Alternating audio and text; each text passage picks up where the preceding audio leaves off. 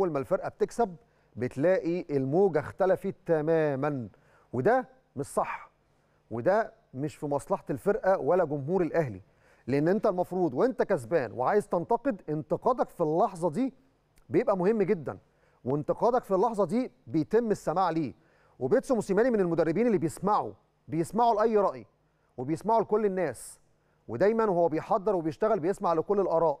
حتى تشعر كده إن في كيمياء في التعامل بينه وبين الكابتن سامي قمصان. كل واحد بيتكلم جوه الجهاز وفي مساحة من الحرية.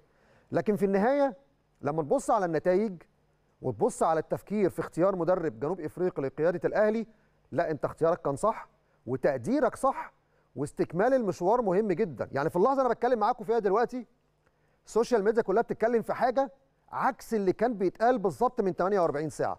دلوقتي الكل بيتكلم في تجديد سنتين واستمرار المشوار في الفترة اللي جاية والدعم والثقة وكل الكلام ده.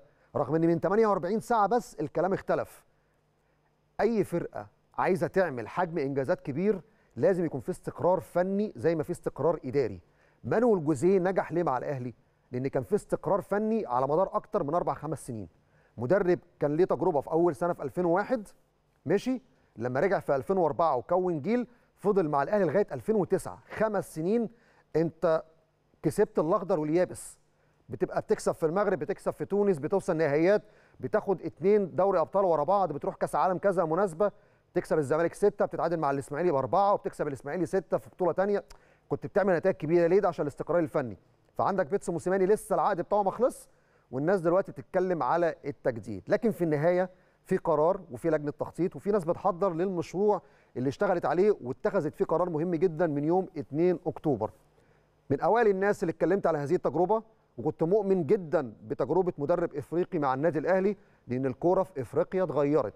كرة القدم في إفريقيا اتغيرت والبعض اللي كان بينتقد التجربة دلوقتي هو أكثر الناس إشادة بهذه التجربة. عندنا مباراة مع الهلال السوداني يوم الجمعة اللي جاية. أتمنى الآراء ووجهات النظر ما تتغيرش لأن لسه المشوار طويل وعندنا مباريات كبيرة جدا. قبل ما أتكلم على